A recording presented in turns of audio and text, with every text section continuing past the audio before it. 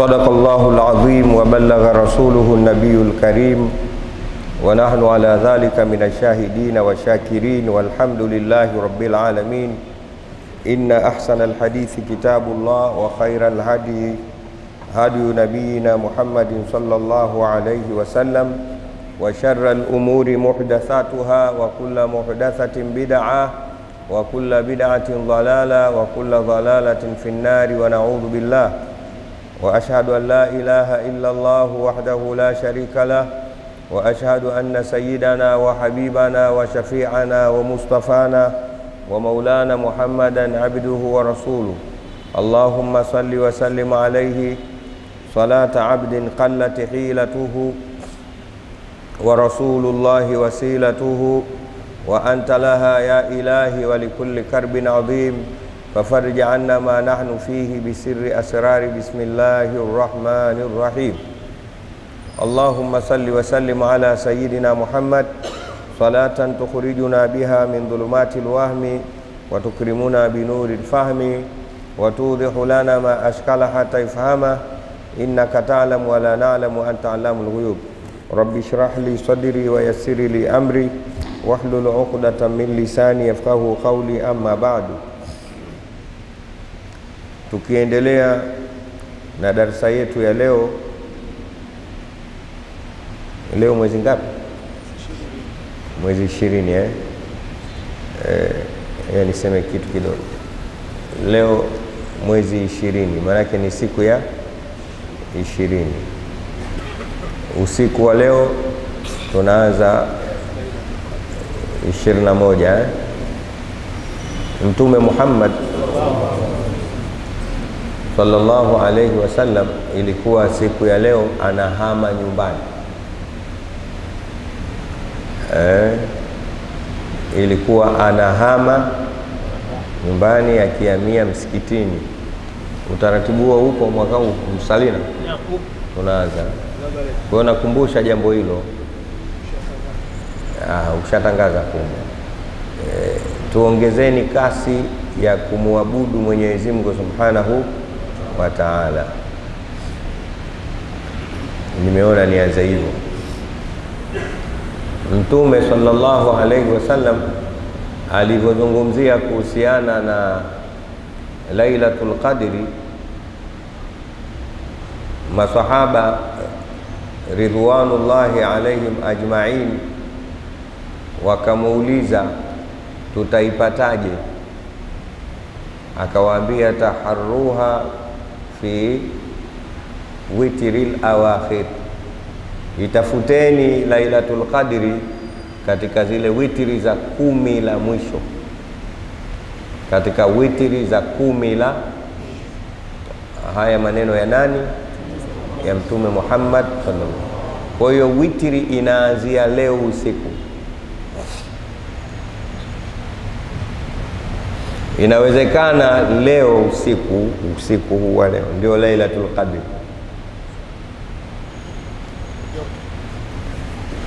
Watu wengi wanangojea ule usiku wa kuamkia na ishirini na saba. Aa, usiku wa kuamkia mosi ishirini na moja pia ni witiri.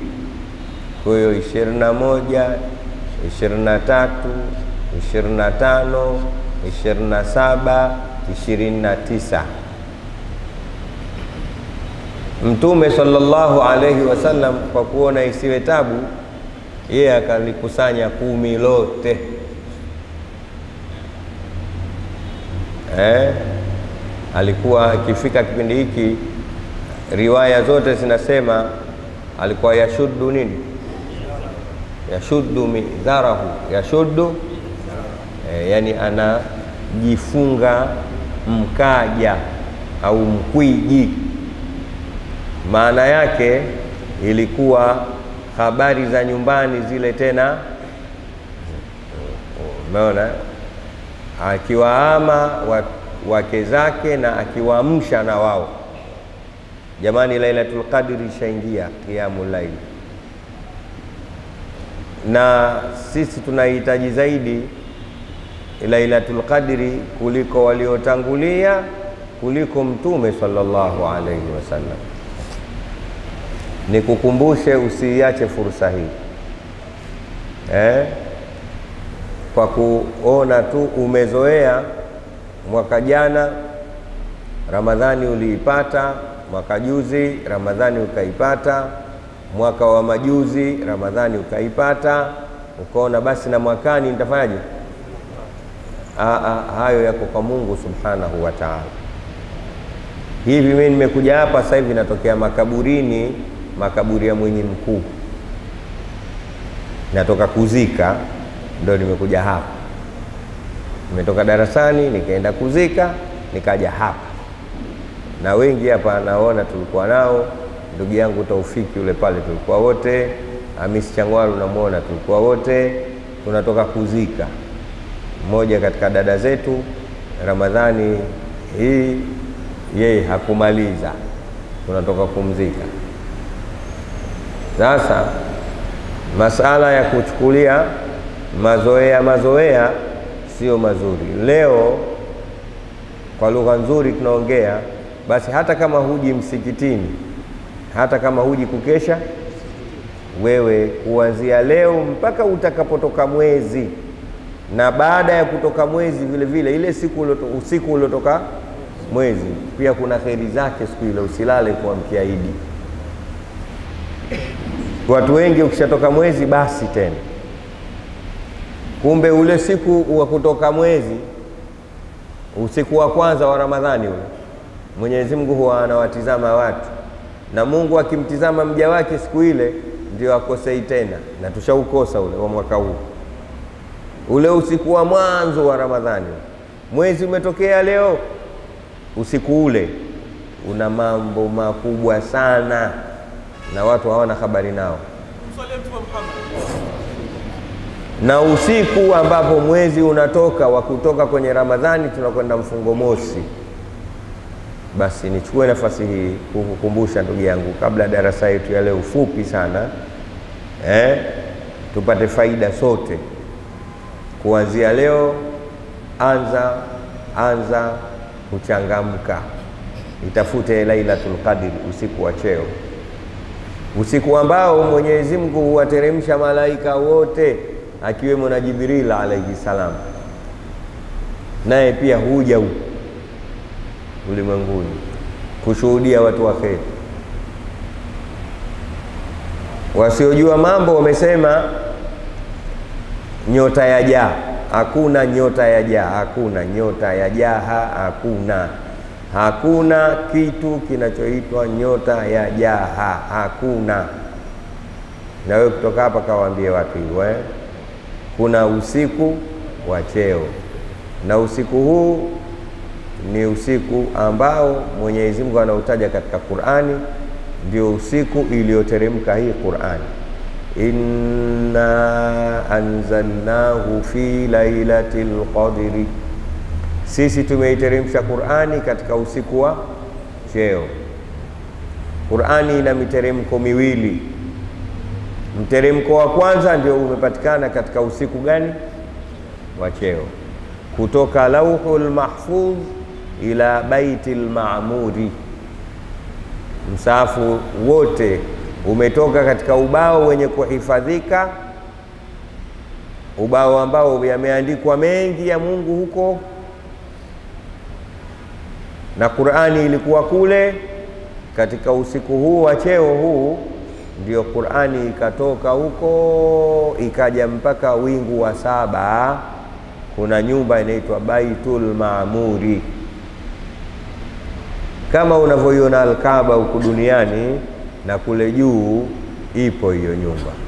Kwa hiyo ikakaa pale Qur'ani, ikawa imekuja duniani kwa muda wa miaka ishirini na tatu kwa mujibu wa matukio. Kwa hiyo Qur'ani ina miteremko mingapi? Miwili. Mteremko wa kwanza min lauhil mahfudhi ila baitil maamuri, huo mteremko wa kwanza ambao ndio huo unaotajwa katika Qur'ani inna anzalnahu fi lailatil qadri, tumeiteremsha Qur'ani katika usiku wa cheo yote. Kisha ikatoka pale kidogo kidogo, mteremko wa pili huo kwa muda wa miaka ishirini na tatu kuja huku ulimwenguni. Kwa nini ilikuja pale kuja huku kidogo kidogo?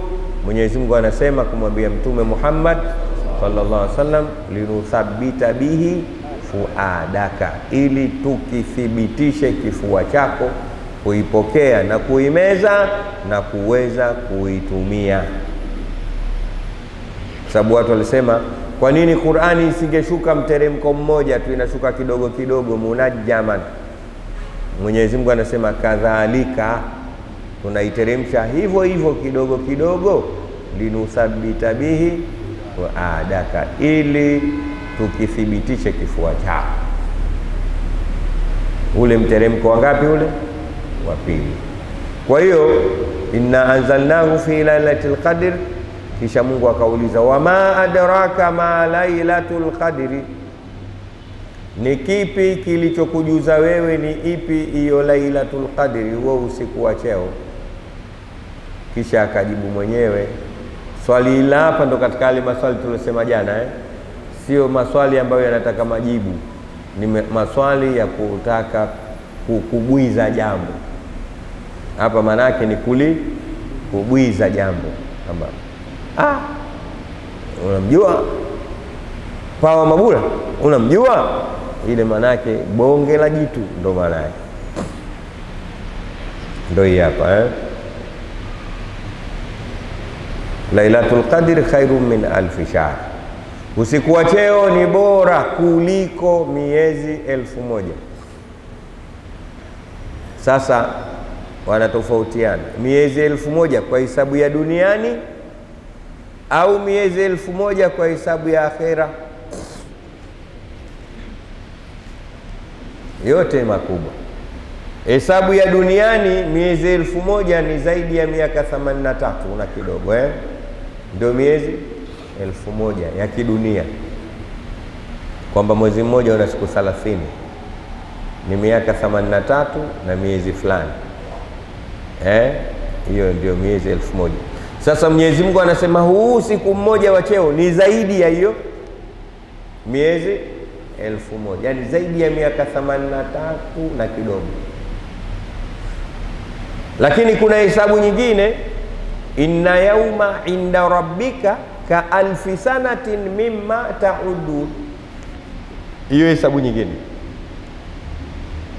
hakika siku moja kwa Mwenyezi Mungu ni kama miaka elfu moja katika hizi hesabu zenu za kidunia. Mwenyezi Mungu akisema siku moja, siku siku moja ni sawa sawa na miaka ka alfi sana, kama miaka elfu moja ndio masaa ishirini na nne ya huko. Kwa maana hiyo sisi tunaishi, hakuna hata mtu aliopata nusu siku nusu siku kwa hesabu ya huko ni miaka mia tano. Nani kaishi miaka mia tano? Kwa hiyo kumbe sisi tuna dakika tu. Mashauzi yote haya tunayokuwepo nayo hapa duniani ni mashauzi tu. Tunaibia watu, tunadhulumu watu, tunatukana watu. Kwa hiyo dakika sijui sekunde tuje tungepewa nusu siku kingi, sindo tungekuwa tena eh? Sasa wanachuoni wanatofauti. Hii hi, hi, Lailatul Qadri khairun min alfi shahr, kwa idadi ya miaka hii yetu ya masaa 24 sawa sawa na dakika 1440 au miaka elfu eh, miaka, eh, eh, miezi elfu moja kwa idadi ile ya siku kwa miaka elfu Aya, mswalini Mtume Muhammad itakavyokuwa, sio kitu kidogo, sio aya, sio kitu kidogo. Ni mie na wewe tu uzoba wetu tukaacha mambo maki, sharti tujiite mazoba hapo mm. Tuchangamke eh? Eh, Lailatul Qadri khairun min alfi shahr. Mwenyezi Mungu alafu anaieleza ile siku yenyewe sasa tanazzalu lmalaikatu waruhu fiha, tanazzalu lmalaika biidhni rabbihim min kulli amrin. Usiku huo malaika wanateremka, tanazzalu ai tatanazzalu, makundi kwa makundi. Unaanza tu ule usiku, unaanza tu, malaika wanabubujika ulimwenguni, popote utakapokuwa ukiwa Magomeni, ukiwa Kariakoo, ukiwa Amerika, ukiwa kwenu Kisiju, ukiwa Kondoa, yaani dunia yote siku ile inakuwa na ugeni wa malaika, na malaika wenyewe humo wote wapo na Jibrili. Sasa hapo ukitaka kumjua Mwenyezi Mungu Subhanahu wa Ta'ala mkubwa eh, kwa wale wanaopenda kupiga hesabu za kibinadamu kwa Mungu, sasa malaika anateremkia Dar es Salaam au au Burundi au si, mnanielewa swali langu? Huyu Jibrili manake ndo mgeni rasmi, anateremkia wapi? Kiwanja gani atateremka? Wacha we kutumia akili yako kujua mambo ya Mungu, we elewa tu, twende. Mmeelewa eh? Eh, eti unakaa sasa unajadili kutaka kumjua. We msikilize shekhe tia katika akili yako ya kibinadamu, twenzetu. Malaika anashuka wote, wanashuka na Jibrili. Sasa Jibrili anashukia Maka au huku au wapi au unaambiwa yuko duniani kote, anakujaje? Hapo ndio kitaka kumjua Mungu mkubwa. Kondoa pia yupo hmm. Sawa, Kijichi yupo Batha yupo, huyo ndo Mwenyezi Mungu Subhanahu. Malaika yule Jibril, yani anashuka na mote humu anakuja. Mtume Muhammad sallallahu alaihi aliomba siku moja amuone Jibrili eh, katika umbile lake la kawaida, akaambia uwezi kunitizama Muhammad, uwezi. Aya inasemaje? hmm? Sheikh Ramadhan alivyoshuka Jibrili akamwambia Muhammad, sasa nione hivyo nilivyo katika ufuk.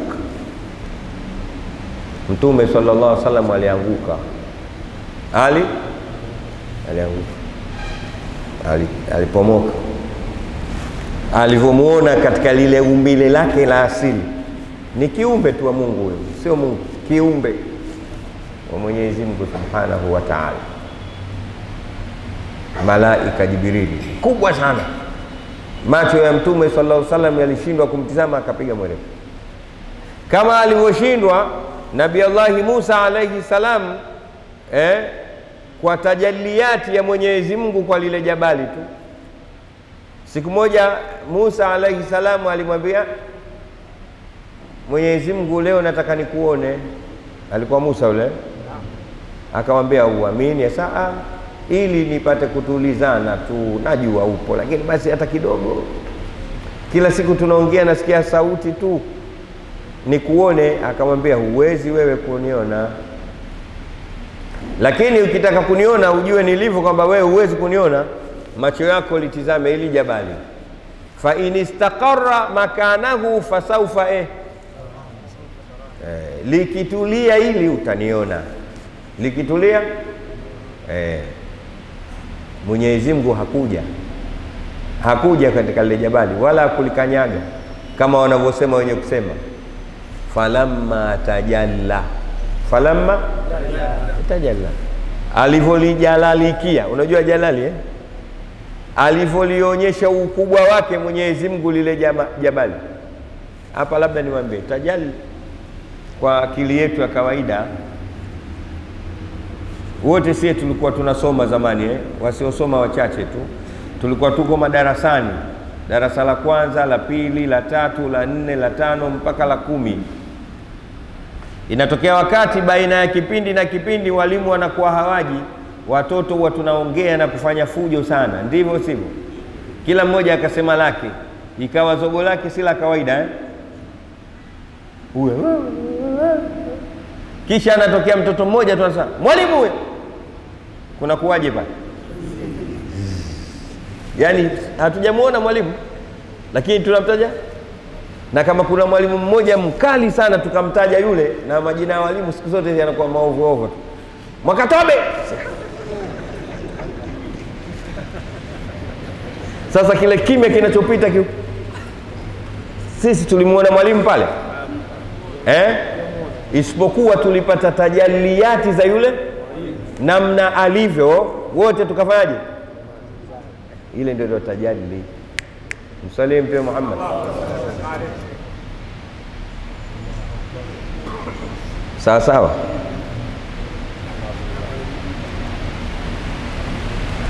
na ndipo utakapowasikia watu, lakini lazima uwe na akili ya kupokea haya kwamba Mtume sallallahu alaihi wasallam anahudhuria sehemu zetu. Anaweza kutokea mjinga. Mitume hao wako wangapi? Magomeni awepo, Unguja awepo, China awepo. Wewe ujui haya pale inakuja tajali. Ndio maana yule mwenye barazanji kule mwisho alisemaje? Allahumma salli wa sallim ala awali qabilin litajalli min alhaqiqati alkulliya. Ukae na sisi tukusomeshe, usitokee tu ukapinga pinga wakati hujakaa na sisi tukakusomesha. una feli una feli Kabla hujapinga someshwa na wenyewe. Umeona tajali hii na ile kule, tumia hii. Allahumma salli wa sallim ala awali qabilin, awali? Jafarul Barzanji anamwambia Mungu mswalie na umrehemu yule ambaye ni wa mwanzo kupokea. Awali qabil litajalli min alhaqiqati alkulliya. Sasa ukae na mimi nikufanye tajalli hakikati alkulliya, mambo gani? Acha ujeuri na ubishani usiokuwa na maana, darasani ujaenda Yeye uko msaliani Mtume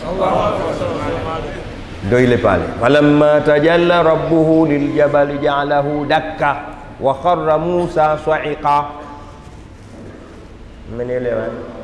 Mwenyezi Mungu alivyolijalalikia lile jabali, ja'alahu dakka, akalijalia pasu pasu, likapasuka. Hakuja Mungu pale, hakuja kama hapa tukisema mtume anakuja, maanake haji ya tajali kwetu sisi, kama tuna tuna tunahudhurisha utukufu na ukubwa wa mtume sallallahu alaihi wasallam, ndio tunasimama sisi, ya nabii salamu alaika.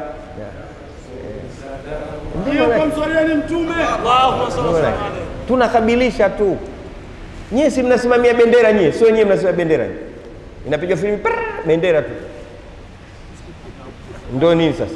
Kwa hiyo mnasimamia bendera, kwani pale? Kuna tajaliati ya daura dora, sheria zenu mlizojiwekea, kanuni zenu ndio mnazosimamikia pale, kwa ishara ya nini? Salim Mtume Muhammad. Ndio hii hapa, lakini lazima ukubali kukaa chini, ufunge miguu hivi, kisha utienia kwa ajili ya Allah, ikra bismi.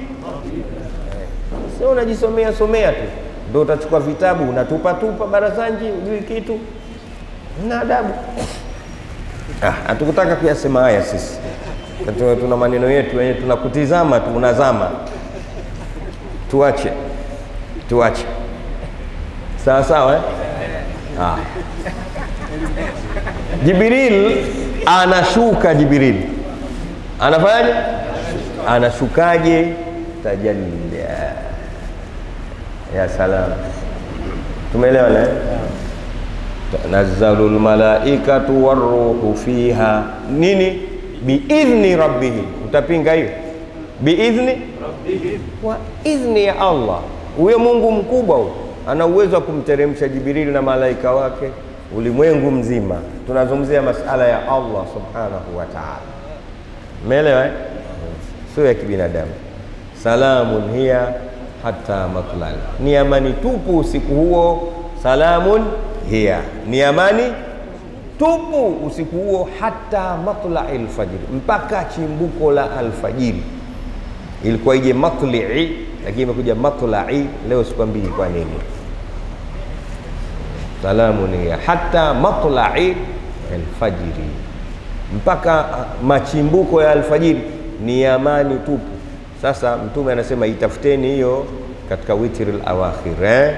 Inawezekana usiku huu, ndio maana nimesema maneno mengi, ili leo usiku tuamke, tuwe macho, tufanye nyiradi zetu, tumwombe Mungu msamaha, tufanye kila kitu ili Mwenyezi Mungu atutie katika kheri ya usiku kama huu. Semeni insha Allah, tutakuja kwa wingi msikitini eh? na pia tusiwe wachoyo na wenzetu tupate kuwaambia. Tusome aya moja tu uh, moja sijui mbili. Leo tutasoma niami ni'amillahi ala Dauda alaihi salam, neema za Mwenyezi Mungu kwa Daudi eh? Daudi alaihi, huyo Daudi sio Daudi huyo tipitipi, sawa eh? Daudi na Mungu anasema a'udhu billahi minash shaitani rajim bismillahir rahmanir rahim ولقد آتينا داود منا فضلا يا جبال أوبي معه والطير وألنا له الحديد. أن اعمل سابغات وقدر في السرد واعملوا صالحاً. inni bima ta'maluna basir. Kuna, kuna, kuna sauti inaitwa nawa. Nawa ni mchanganyiko wa rasti na sika, ndio hii nilitumia hapa. Msalie Mtume Muhammad eh, sawa Ramadhani eh, una eh unaweza kusema sika, unaweza kusema rast Sika au rust, ile inaitwa nawa. Mungu awarehemu wazee wetu bwana, wakina mzee Alhaji na wengine wanakula visheti vyao huko saizi. Eh, sio umetuacha hivi bwana. Walaqad ataina Dauda minna fadla, na kwa hakika tulimpa Daudi kutoka kwetu fadhila kubwa sana. Eh, ya jibalu, tukayaambia majabali, enyi majabali, awibi maahu, itikieni pamoja naye, wataira, na na ndege. Eh, wa alanna lahu lhadida na tukamlainishia yeye chuma, tukamwambia animal sabighatin, tengeneza nguo za chuma pana pana, waqaddir fi sardi, na upime vizuri katika kulinganisha. Waqaddir, na pima vizuri kabisa, fi sardi, katika kulinganisha, lisiwe eh, guo kubwa au lina bana. Wa'malu salihan, na fanyeni mema. Hapa dhamiri inarudi kwa Daudi na watu wake? Wa'malu saliha, na fanyeni mema. Inni bima ta'maluna basirun, hakika mimi kwa yote mnayoyafanya ni mjuzi nayo. Aya hiyo hiyo leo tutamaliza, sasa tuondoke na mengi eh? Hapa tutasoma Mungu namna alivyomneemesha Daudi alaihi salam. Daudi ni mmoja katika mitume ya Mwenyezi Mungu eh? E, mitume ya Allah e, mmoja anaitwa nani? Daudi. Kesho tutakuja na uh, na silsila yake ya uzao inshallah. Semeni inshallah. Leo tumechukua maneno mengi sana kuzungumzia Lailatul Qadr kwa sababu ndio hadithu saa, sawa sawa eh? Daudi huyu ni mmoja katika mitume ambayo Mwenyezi Mungu Subhanahu wa Ta'ala anazungumzia namna alivyomneemesha. Kwa mnasaba gani? Jana tumesoma inna fi dhalika la ayatan, ndio eh? Eh, likulli abidin munib, kwamba hapa ndio tunapopata mnasaba hakika kuna katika hayo yale tuliosoma jana mazingatio makubwa na dalili nyingi kwa kila mja mwelekevu. Ndio jana tulimaliza pale. Sasa Mwenyezi Mungu anaonyesha namna anavyowaneemesha waja wake welekevu. Mungu akijalie katika hawa, ndio maana yake. Kwa anaunganisha yale kwamba Mwenyezi Mungu yeye ana mambo mengi, ana fadhila nyingi, kama vile alivyomfadhilisha Daud alaihi salam. Daudi alimpa fadhila kubwa, ndio walaqad ataina dauda minna fadla, tulimpa Daudi fadhili zetu. Daudi alipewa fadhuli eh? Wenyewe wanakwambia fadhuli kama nini? Alikuwa mtume. Unaonaje kuwa mtume? Unaamka ghafla pa we mtume wa Mungu kwa watu eh, jambo kubwa sana. Kuwa imamu tu eh, shavu kwamba fulani jama leo ndo imamu wetu kichangani. Shavu sio shavu, na ukitaka kujua shavu, angalia watu wanavyokereketwa. Ule mkereketo ule ni dalili kwamba hii nini, lile shavu lile. Kuwa imamu Ah, lazima awe mmoja imamu. Mihrabu yenyewe moja hii. Sasa wataka maimamu wangapi hapa? Lazima tumchague mmoja we. E, msioni ah, kapata shavu ah, ah. Sawa sawa, Ndo hivyo tena. Mungu anajalia huyu imamu huyu nani huyu nani, mipango ya Mungu tu hii jamaa. Sawa eh? Haya, wa rabbuka yakhluqu ma yashau Mungu yasa, Mungu anaumba atakacho na anachagua. Mungu anaumba atakavyo, alafu anachagua huyu awe nani, huyu nani. Ni mipango ya nani? Sasa watu wote tukuwa maimamu, madaktari watakuwa wapi? Lazima patikane hao madaktari hao maimamu eh? hawa wabunge, ndani ya mabunge watoke mawaziri, huyu raisi, wengine tu Mungu anamchagua mwenyewe mzee wa baraza mahakamani naye ana mbwembwe huyo wale wazee wa baraza. Maana nafika wakati mahakama inasimama kwa ajili ya mzee wa baraza tu, kwa kulala wale. Umeelewa? Eh, ndio Mungu kishamwandikia mwenye mzee baraza, anatoka nyumbani anaenda barazani kwake mwenye mahakamani. Mipango ya nani? Ya Allah. Usikasirike bwana, Mwenyezi Mungu amejalia hayo mipango ya Mungu. Mm. Haya, sasa Daud miongoni mwa fadhila zake ni mtume, lakini pia alikuwa ni mfalume. Ni mtume nani? Mfalme. Mangapi hayo? Lakini kama kawaida ya wafalme, alikuwa na jeshi kubwa sana Daudi jeshi lake sio la kawaida kubwa, ambalo likaja kurithiwa na mwanawe Suleimani. Ndani ya jeshi la Daudi kulikuwa na kila aina ya askari, binadamu, wanyama, majini, umeelewa? Upepo, vyamaki, yani alikuwa na jeshi kwa maana ya jeshi. Umkimbi. U? Neema kubwa hiyo, fadhila kubwa. Lakini pia alipewa kitabu cha Zaburi, sawa eh? Wengine wanakwambia na alipewa sauti nzuri, alikuwa ana sauti nzuri kweli kweli, hajatokea hapo mtu mwenye sauti nzuri hiyo, labda Mtume Muhammad hmm, sauti nzuri.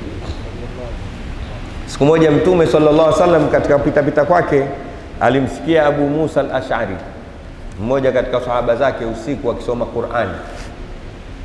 Mtume sallallahu alaihi wasallam alikuwa anadoria usiku akitembea mwenyewe kukagua viunga vyake. Hakuwa mtume lala hoi, ilikuwa apite asikilize. Kuna nini mitaani. Ndio kiongozi, ndio?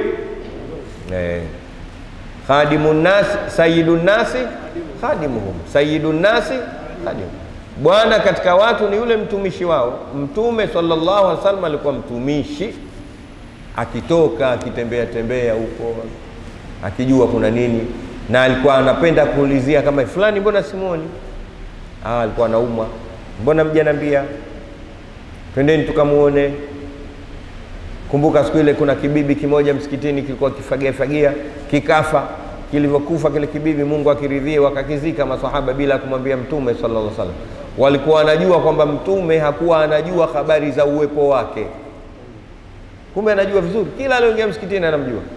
Umesikia imamu wajue wote.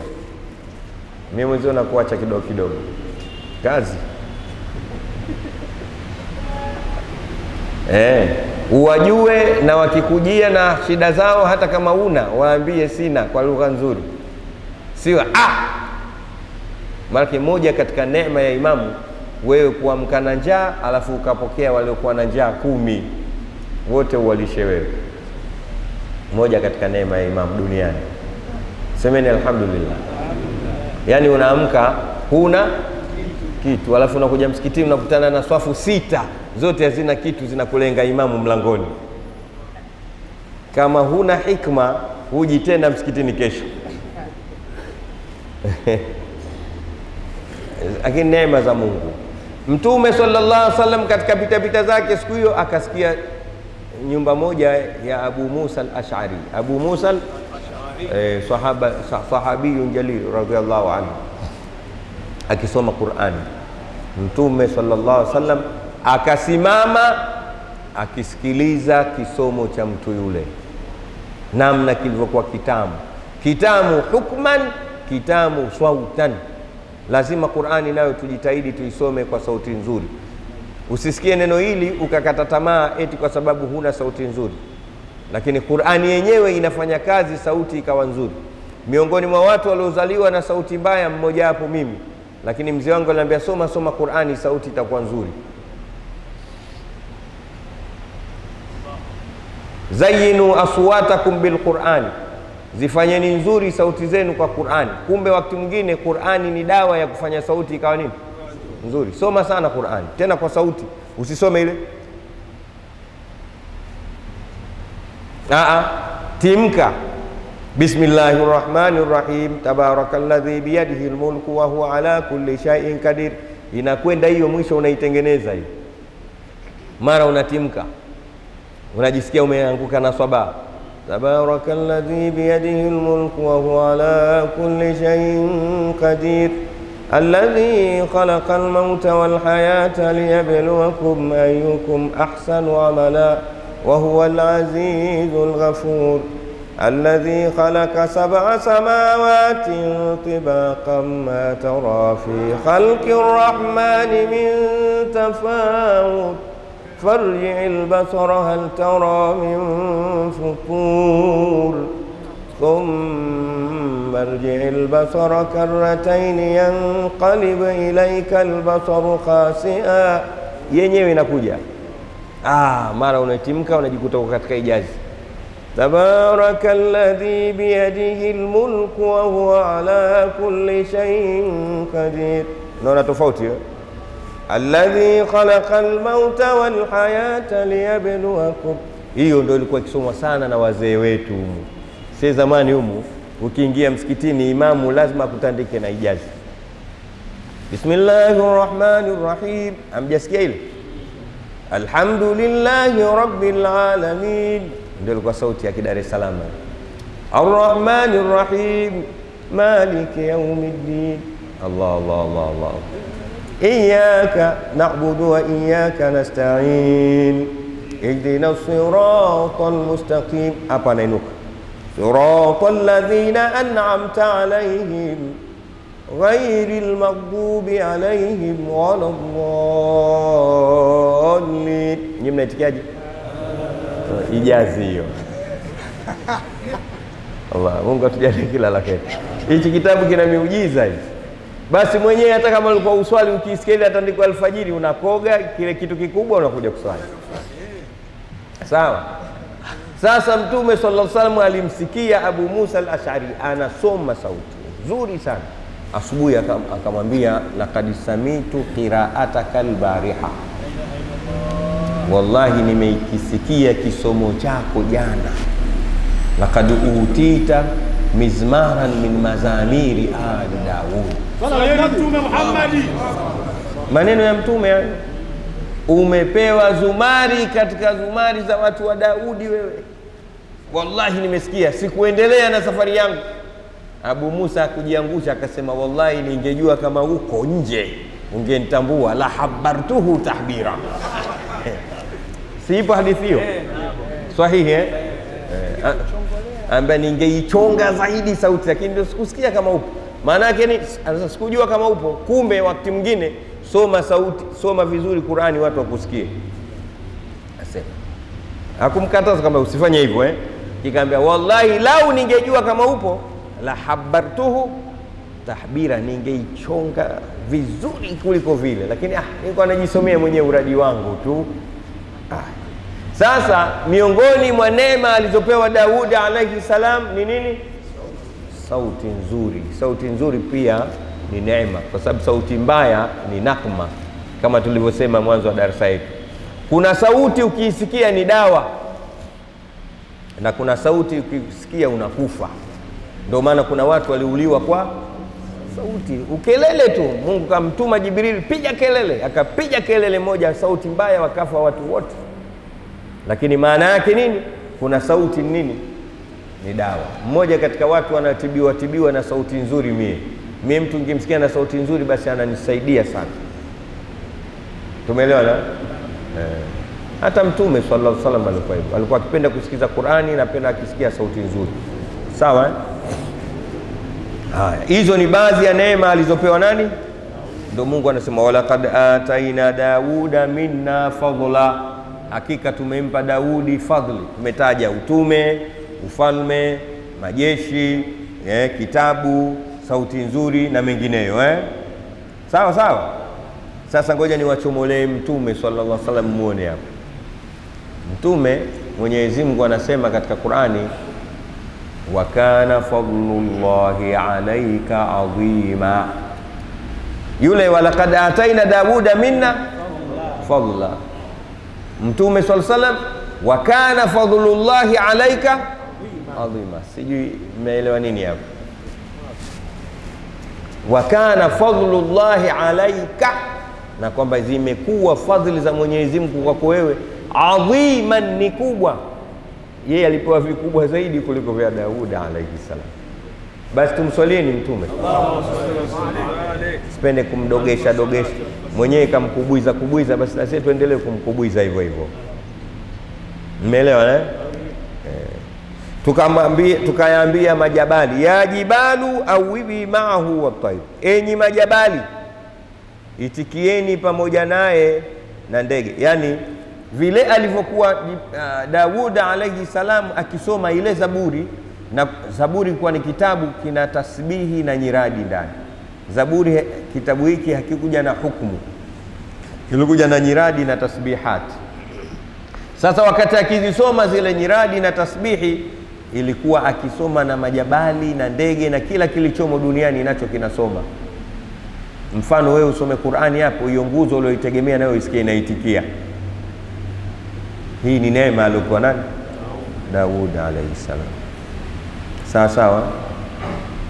Wa alanna lahu alhadida, na tukamlainishia chuma.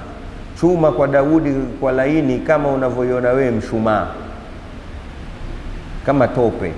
Ilikuwa hana haja ya chuma, nyundo, sijui hakutaka chochote yaani mikono yake ilitosha kukiswarif chuma atakavyo yeye akitaka kutengeza chochote kupitia chuma mikono yake ilikimtosha miongoni mwa kazi ndo hii hapa. Tukamwambia animal sabighatin tengeneza nguo za chuma. Yeye ndo mtu wa kwanza kutengeneza vazi la chuma duniani. Inaitwa dir'i kikoti kile cha vita au au. Mtu wa kwanza kutengeneza nguo ni Dauda alayhi sababu alikuwa ni mtu wa mapigano na mapambano katika majeshi. Yeye alivaa vazi la chuma ambayo siku hizi mnaita bullet proof. Yeye alitengeneza mwenyewe kwa mikono, tena kwa namna nzuri zaidi, kama anavyomwambia Mungu kwa amri yake, waqaddir eh, na upime fisardi eh, na pima vizuri katika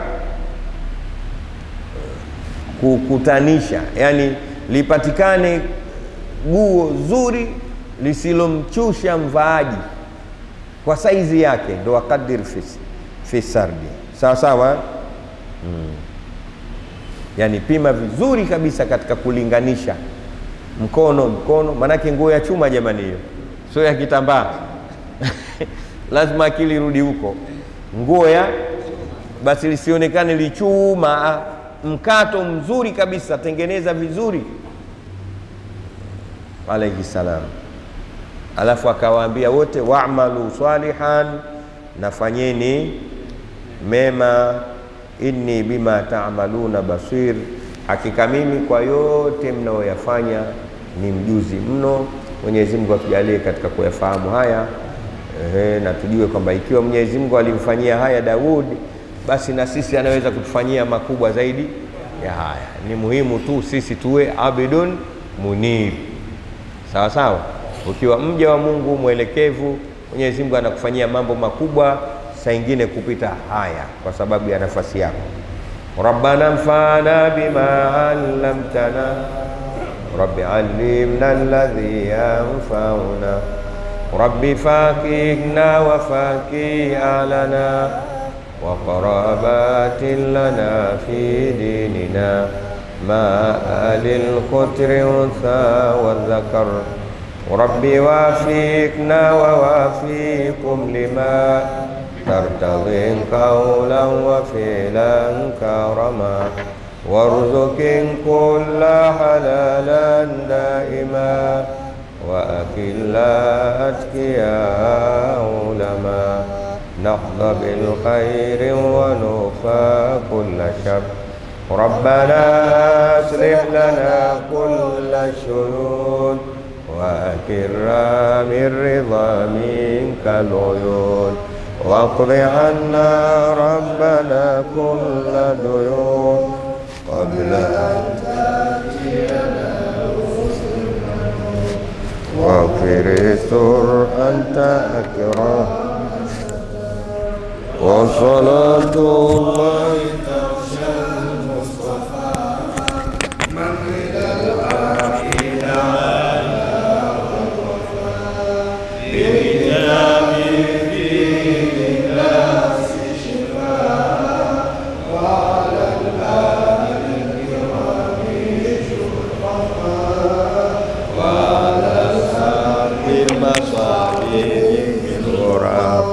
عالما سري وأخفى مستجيب دعاء ربي ربي فهمنا علوما برسول الله واحلل عنا Kera